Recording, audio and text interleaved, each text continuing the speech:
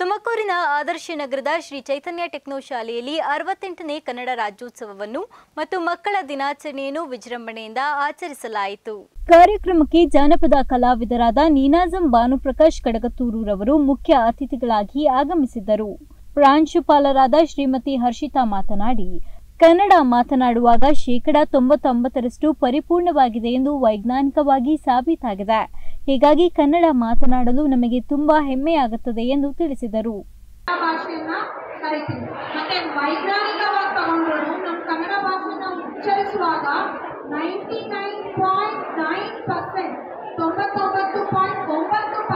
ವೈಜ್ಞಾನಿಕವಾಗಿ ತುಂಬಾ ಕರೆಕ್ಟ್ ಆಗಿದೆ ಅಂತ ಹೇಳ್ಬಿಟ್ಟು ಕನ್ನಡ ಭಾಷೆಗೆ ಹಿರಿಮೆ ಬಂದಿದೆ.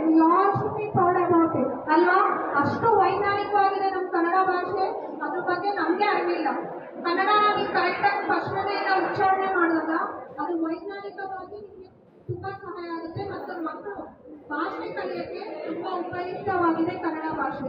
ಮತ್ತೆ ನಿಮಗೆ ಗೊತ್ತಿರಂಗೆ ಎಂಟು ಕಾರ್ಯಕ್ರಮದಲ್ಲಿ ವಿದ್ಯಾರ್ಥಿಗಳು ಕನ್ನಡಕ್ಕಾಗಿ ಹೋರಾಡಿದ ವೀರ ಪುರುಷರು, ವೀರ ವನಿತೆಯರು ಹಾಗೂ ಕವಿಗಳ ವೇಷಧಾರಿಗಳಾಗಿ ಕಾರ್ಯಕ್ರಮಕ್ಕೆ ಸುಂದರ ಸೊಬಗನ್ನ ನೀಡಿದರು.